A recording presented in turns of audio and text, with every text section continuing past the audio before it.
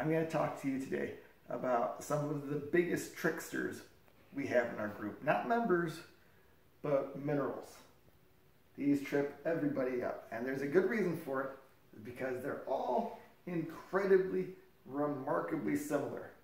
Small differences in all of them. I'm going to teach you how to tell the difference in all of them. All right.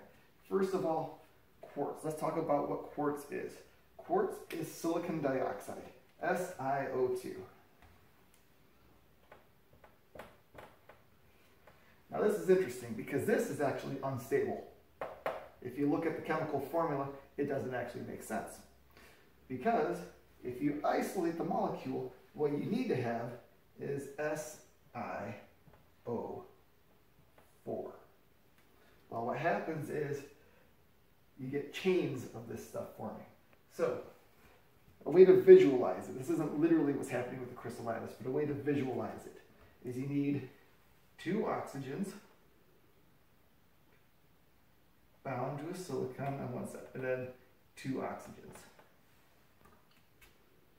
That's four oxygens, one silicon, just like that. However, then silicon comes along and says, oh, hey, look, there's two free oxygens there. Let me just bind onto that and grab two more. And then other silicon says, oh, hey, look at those two oxygens over there. Let me, let me just bind onto that. Add two more. And what you end up is with a chain of silica where the formula actually turns into SiO2, even though each one of these is like an SiO4. But the situation is they all just kind of share a pair of oxygen uh, molecules there. The actual structure for quartz is a little bit more complicated than that. It's actually going to look more like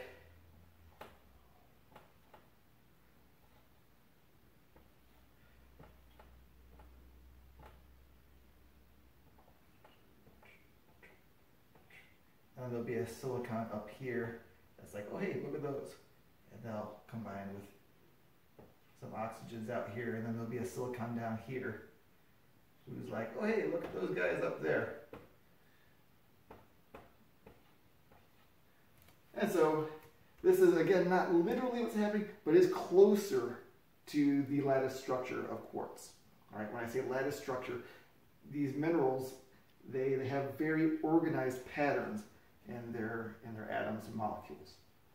All right, that's what uh, really gives it their clarity. That's what really makes them uh, look quite beautiful. All right, so this is quartz. There is another form of quartz called moganite, which is not something you will ever find a large sample of. However, it is a form that's monoclinic, and that one actually forms these planes. It actually kind of does this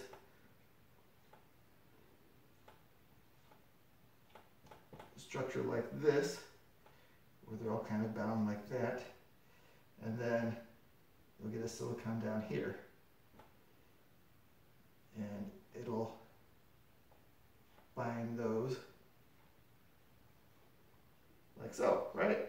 So you get a very different form, a different, very different crystal lattice for your silicon, uh, but the exact same chemical composition. That seems needlessly complicated, right? But it's important because that's the difference between some of what you're seeing up here. So uh, quartz is quartz. It's, it's the, the um, structure similar to this. Uh, and chalcedony, chalcedony or chalcedony, you can pronounce it either way. I tend to pronounce it both ways. Um, it is what we call cryptocrystalline. And I'll write that word down because it's a nice big one. It's a $5 word here crypto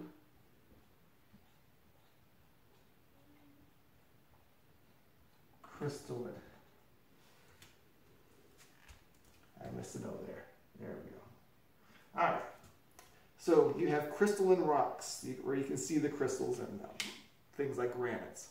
You have finely crystalline, they're real small. You have microcrystalline, you can only see it through a microscope. Then you've got cryptocrystalline, where they're so small that even if you have a regular optical microscope, you're still not going to be able to see the crystals. You're going to have to buy some really expensive equipment from the university, pretty much. Right? Chalcedony is a cryptocrystalline mixture of quartz and moganite here. And what you end up with is instead of a nice, really uh,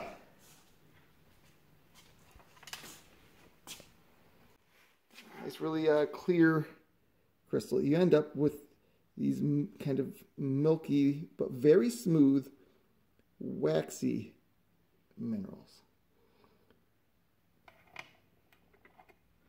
This one has a bit chalcedony in the center here. It's very common to get some interesting colors in chalcedony.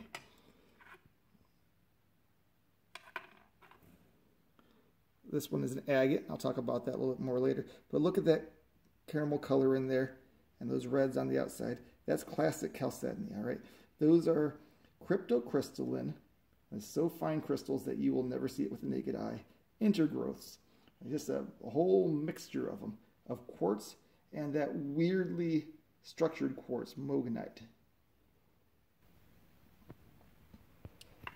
Now, that covers chalcedony. What about quartz versus chert? Right? Chert is actually not a mineral. Chert is a rock. It is a rock that's deposited in the bottom of deep oceans. You have organisms dying and their bodies sink to the bottom. In the deep ocean, though, calcium carbonate, calcite dissolves. And so all you're left with is silicon um, parts of the bodies, uh, mostly from diatoms, little, little algae-like animals. They have glassy bodies. And they accumulate what's called a siliceous ooze. You get sheets of just this goopy, gross, diatomaceous material down there. It's an ooze. Uh, and over time, it compacts and hardens and forms cryptocrystalline quartz. Again, cryptocrystalline. I told you there's going to be a lot of overlap with all of this. And if we take a look at a piece of chert over here, banded chert is very famous in the group. People love the banded chert. It's very waxy. It feels waxy like chalcedony. However, it doesn't quite have the shininess that the chalcedony has. Chalcedony should be translucent to light. When you hold a light up to it, you should be able to shine through it a bit. Let's see here. This is another piece of chert here. Sometimes chert around Michigan actually looks blue and that's a feature of weathering. That is probably manganese stuck to it. But if you find a broken piece, you can see that it's usually actually brown. Here's a piece from Leland I picked up that I really liked. Never would have identified with as chert, except take a look at this broken section in here. That's cryptocrystalline quartz in there, formed at the bottom of the ocean. Chert. We got a bit more chert here. A lot of overlap with chalcedony. Uh, the difference is it's a little bit less uh, waxy uh, and you can't shine light through it. All right. How about chert versus jasper? This is an easy one. Jasper is red chert in Michigan. Jasper is an ancient word that used to be applied to lots of different rocks, way before there was a science of geology.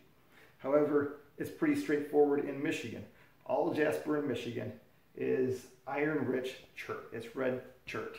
We come over here to the Cabinet of Wonders.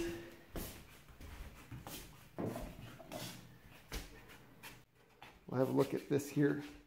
Is it red chert or is it jasper? The answer is yes. It's both.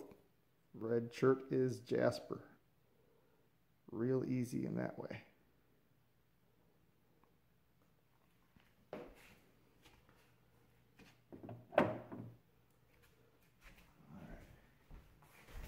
And finally, we've got chalcedony versus agate. What is the definition of an agate? There are so many questions about this in our group. Is this an agate? Is this an agate? And it's usually very easy to tell, but people just don't have that information. So what is an agate? An agate is banded chalcedony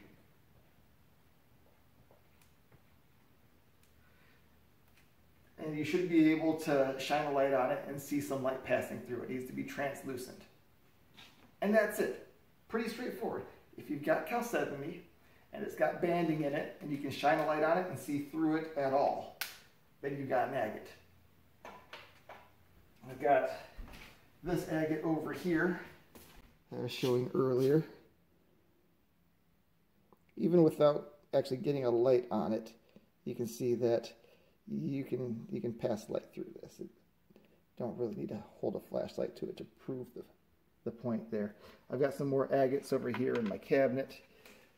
We'll take a look at a couple of those. These are all small. I'm not a, a widespread agate hunter or anything, so I've got kind of a small collection of agates here. I'm going to pick up some stones that may not all be agates, but I'll point them, point them out as we go here.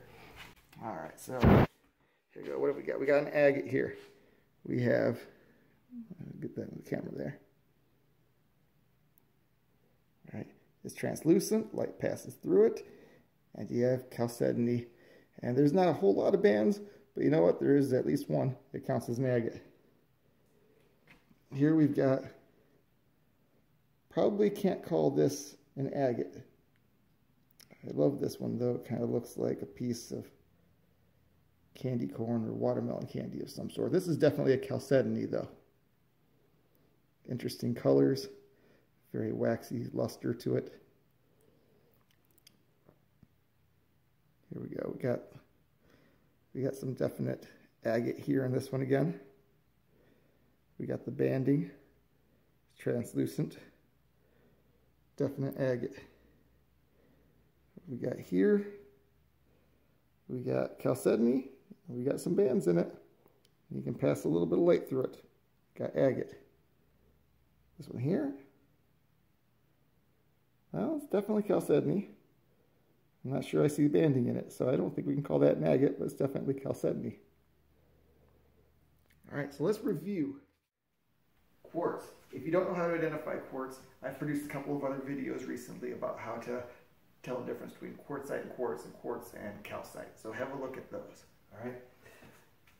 Chalcedony is a cryptocrystalline mixture of two different types of quartz, moganite and actual quartz, uh, and it's a mineral. Chert is a rock composed of cryptocrystalline quartz. Jasper is red chert. And agate is banded chalcedony that you should be able to pass the light through and get a little bit of light coming through. All right. For identifying them in the field, you're looking for waxy, smooth, should be at least partially translucent to light. For chert, a little bit less waxy and smooth than chalcedony, but still pretty waxy, still pretty smooth, usually does not pass light through it. Jasper, you're looking for chert but red. And agate, you're looking for chalcedony but banded. And that does it. I hope that helps.